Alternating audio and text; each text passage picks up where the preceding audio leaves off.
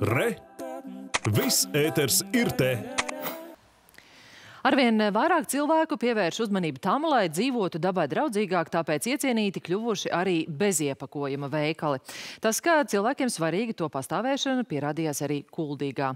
Kad īpašnieki dažādu iemeslu dēļ nolēma slēgt tikai pirms gada atvērto veikalu, īsā laikā izdevās atrast jaunu saimnieku, kas turpina iesākto. Un piebildīšu, ka sižets filmēts pirms stingro ierobežojumu ieviešanas valstī. Pagājušā gada jūlijā Kuldīgā gājēju ielas koncepta veikaliņu klāstu papildināja pirmais beziepakojuma veikals pilsētā Kūle. Īsā laikā tas kļuva par iecienītu iepirkšanās vietu daudziem, tāpēc liels pārsteigums šoruden bija īpašnieku paziņojums sociālajos tīklos, ka sākusies izpārdošana un veikaliņu slēgs. Tas tēlēni sakot izraisīja vētru, un ļaudis ne tikai izteica atbalstu, bet uzrunāja līdzīgi domājošus uzņēmīgus cilvēkus turpināt iesākto.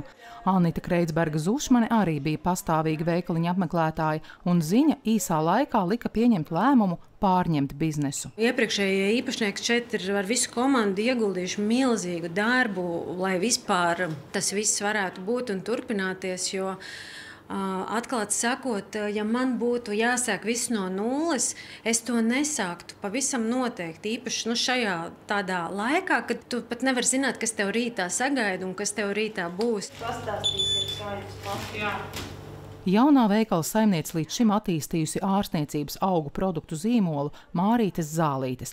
Veikaliņā līdzās pastāvēs abi. Sastaptie pircēji neslēpa, ka ziņa par veikala slēgšanu bija viņus satraukusi. Domāju, ja man atkal ir jābrauk uz Rīgu, Jo es eh, vienbrīd braukāju uz Rīgu, tad es burkā iepirkos tur arī tādu tipu veikals, un tad vēl liepājā ir. Bet kā tā ir braukšana, liekas laiks, kas paiet ceļā, un ja tev nav nekādas darīšanas īsti, tad eh, vieglāk jau ir tepat. Es to uztveru, godīgi sakot, ļoti bēdīgi. Es to uztveru. Man liekas, tas, tas būtu baigi, nu tā, ļoti žēl, bet līdz ar to, ka veikaliņš tomēr neslēdzās ciet un viss turpinās, tā man ir tiešām personiska līksma ziņa. Pirmais beziepakojuma veikals Latvijā tika atvērts 2018. gadā Rīgā.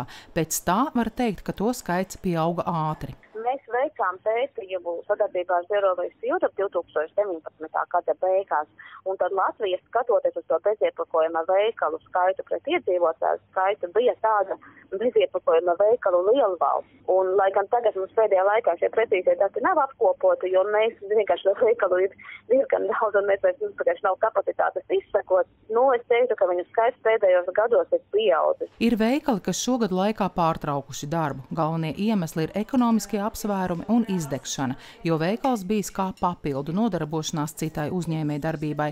Savukārt atvērt jaunu veikalu rosina nevien cilvēku pieprasījums arī reģionos pēc šādiem veikaliem, bet arī tas, ka šobrīd celmlauži jau ir veikuši vairākas iestrādnes, piemēram, pārliecinājuši ražotājus preci piegādāt lielā iepakojumā. Jāteic, ka pamazām arī lielveikalos tiek veidoti beziepakojuma stendi. Ieva Benefelda Lans Perševits, TV